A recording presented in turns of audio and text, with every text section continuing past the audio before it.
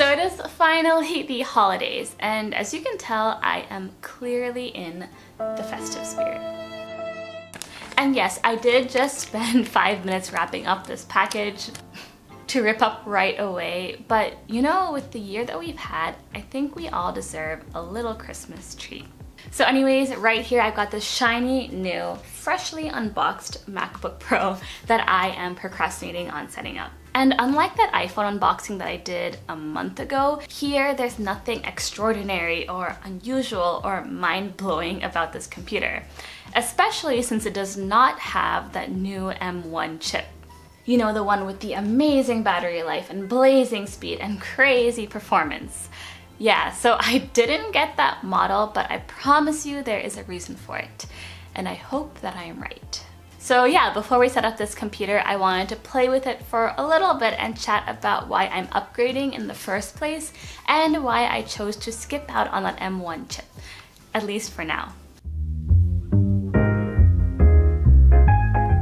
Alright, so I've got my old old computer here, which is the 2019 baseline MacBook Pro. And then here is a new one, which is of course the 2020 model in the mid to higher end of the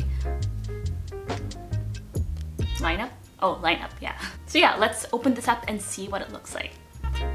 Um,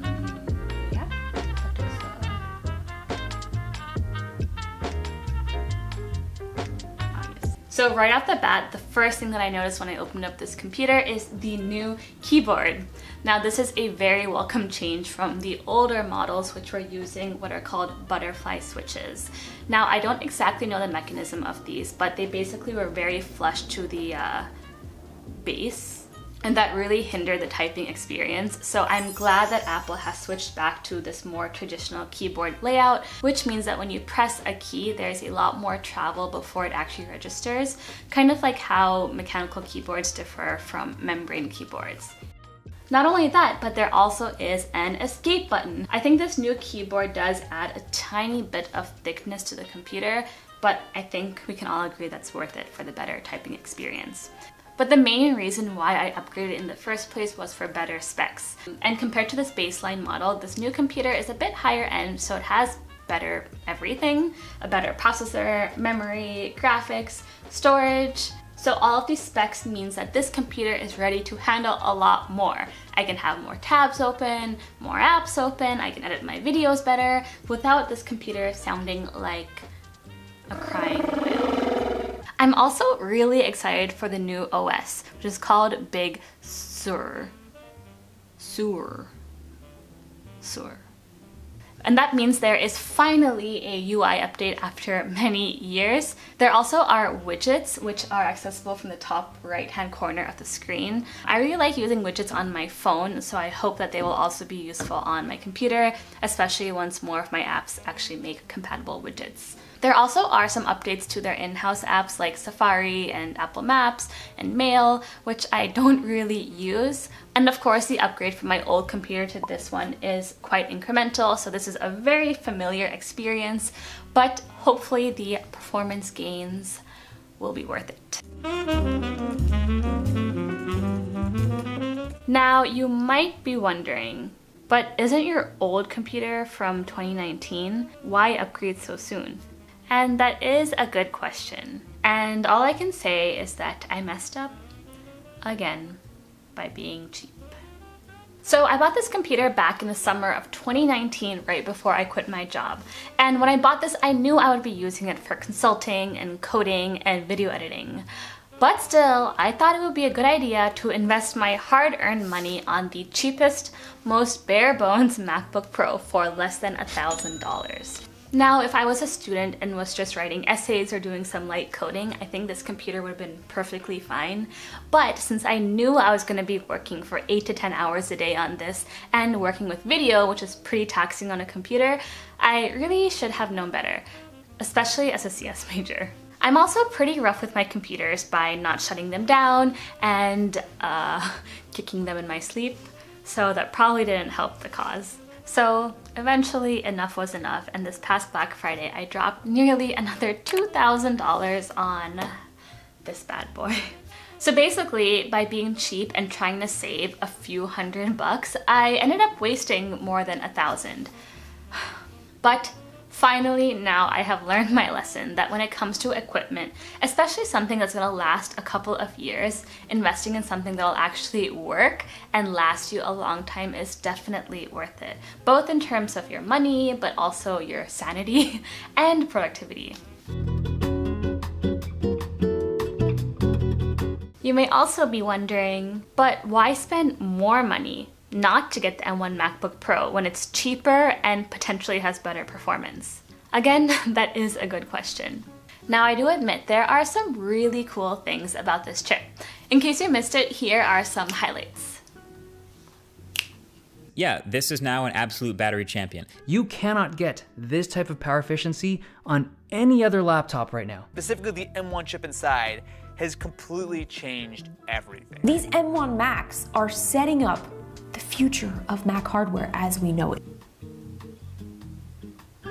So it's pretty impressive what Apple has managed to do to build this system on a chip with an 8-core CPU, GPU, neural engine, and more, all packed onto this one small chip.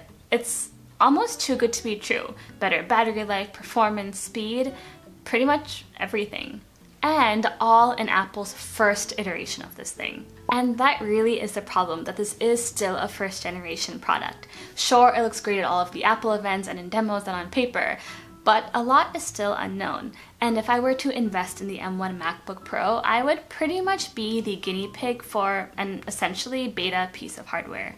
It's kind of like how, say, when Python 1 was released back in the day, a lot was still unknown. Yeah, it was cool and different, but a lot of the kinks still had to be figured out. And that's why it only really gained traction with the 2.0 release maybe a decade later. Or with every new Mac OS update, of course there are some really cool features, but if you were to install it the moment that it releases, you're bound to find some tiny but annoying bugs that just take a little bit of time to iron out. So my fear with investing in the M1 MacBook is that I would make the same mistake of getting what is the cheaper model with promising specs, but where down the line I could face some annoying bugs or performance issues, which is what I'm trying to avoid. And the other main issue is that a lot of Mac apps need to release updates to be compatible with the M1 chip and a lot of my workflow relies heavily on certain non-Apple apps, such as DaVinci Resolve and Notion. In fact, I think right now DaVinci only has a beta out that's compatible with the M1, and I've also heard of issues with running Docker on the M1, so this is basically that awkward in-between period where developers are rushing to roll out updates to make their apps compatible with this chip, which means that I, as a user, might be running non-optimized software or beta software that could have bugs or issues that uh, I don't want to deal with. And so I'm gonna take MKBHD's advice, which is if I were a student or an everyday user, I think the M1 would have been perfect. But since I am, I guess, a power user, I can't really afford to take that risk. And anyways, if the M1 is so good as it is right now, I can only imagine how much better it'll get in one or two years, so I might as well wait a little bit longer. That being said, I do have some FOMO seeing other people rave about their computers, so hopefully MKBHD is right on this. Okay, okay, enough chatting. Let's actually go and set this up now.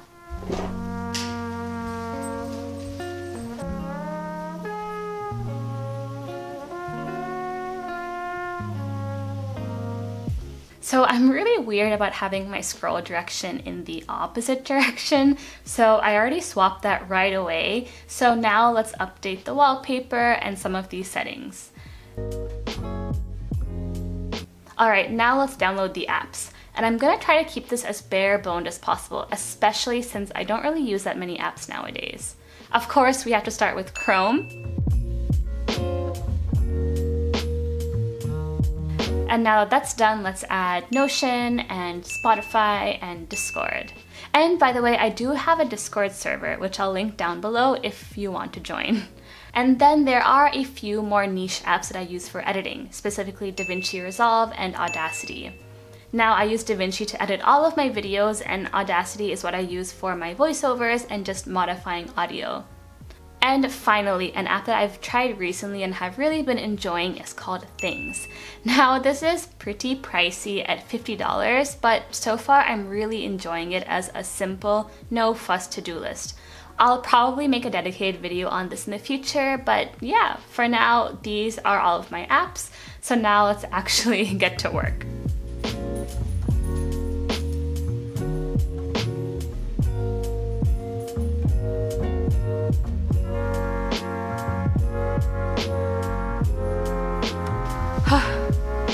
So yeah, that's it for today's video.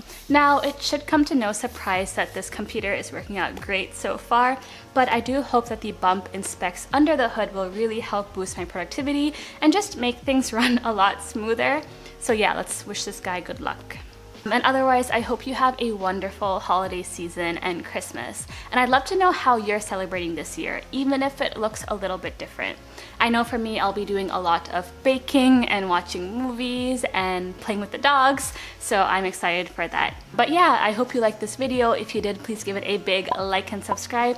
Follow me on social media if you haven't already, and I'll see ya in the next one.